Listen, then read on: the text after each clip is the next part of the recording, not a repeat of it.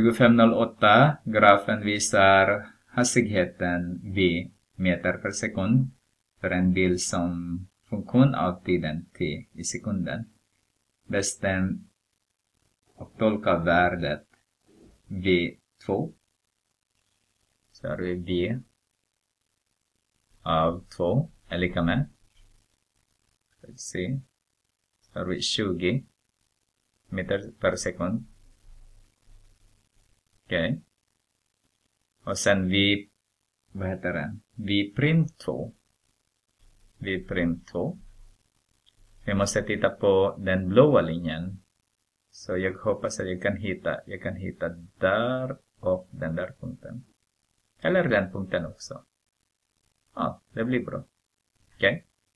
Så har jag eh, 20 subtraherar med i-värdena på den. 10 dividerat med 2 subtraherar 0,5. Så 10 dividerat med 1,5. 10 dividerat med 1,5 så fick jag 6,67 meter per sekund. Per sekund betyder det.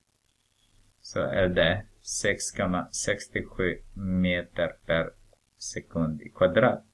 Och den här heter acceleration.